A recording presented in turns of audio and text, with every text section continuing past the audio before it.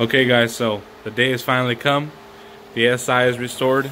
New bumpers, new clips, the body work's done to it. I mean, check, it's a full transformation of what that car was.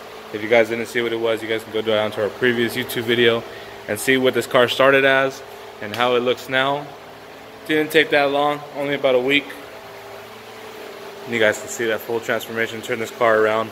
We did the new headlights, the new um, clips to hold the bumper in so he no longer needs the, needs the quick releases.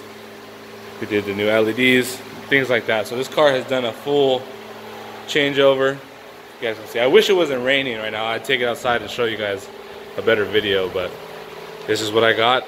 This is how it turned out. And if you guys need some work done, make sure you guys hit us up, book your guys appointments, and hit us up for quotes. And we can finance it as well.